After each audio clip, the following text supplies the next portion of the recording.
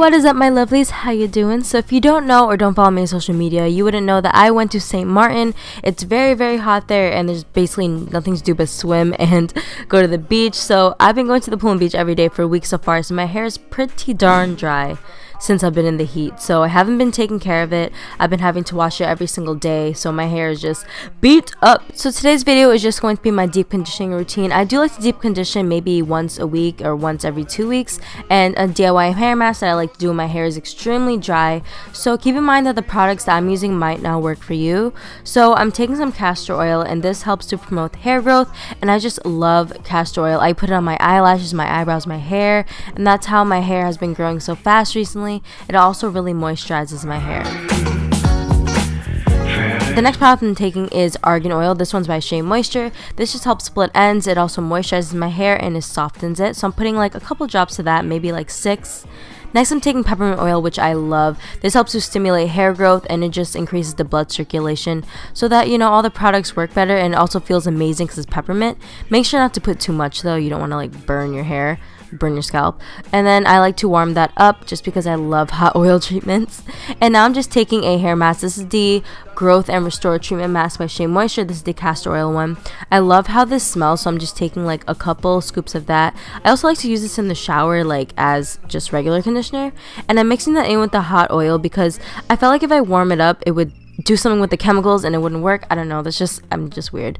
And yeah, it looks like peanut butter and no, do not eat it even though it smells like cookie dough and looks like peanut butter. So now I just wet my hair like it's pretty damp right now. It doesn't look like it, but it is. And I'm just going to be applying my mask like that. I figured that this is the best way to do it. I used to do when my hair was like dry and it didn't really absorb the product as much as dampening it. So now I like to dampen it. So I'm just sectioning my hair and then applying a lot of the product.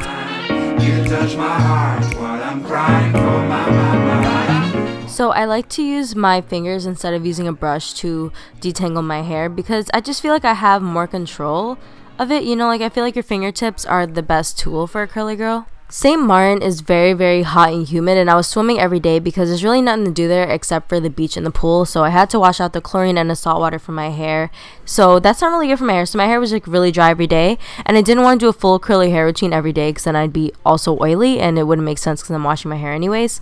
But now I'm just putting up my hair, and when I deep condition, I like to put up my hair and then apply like a plastic bag because I feel like it really traps the heat and it makes the hair mask work a lot better. But if you have like a heating cap, that's much better. So now I'm keeping it on for as long as I feel like it. It'd be 30 minutes, an hour, overnight, whatever I feel like doing. And after that, these are my results. This is my hair wet. It's already styled. As you can see, it's very moisturized. My curls are bouncing. They're flourishing. They look good, hunty. Unfortunately, I did not get a clip of my hair dry because I went outside for my friend's birthday. Happy birthday, Amanda, by the way. And um, yeah, I was being a crazy teenager and my hair was all over the place. So it didn't look good for the video. But you can look on my Instagram because I have a lot of hair pics on there. My hair is like moisturized and everything in the pics, of course. And if you want, you can follow me on Twitter and Snapchat. But yeah, that's it for this video. And see you guys very soon with a new one. Peace, I love you. Bye.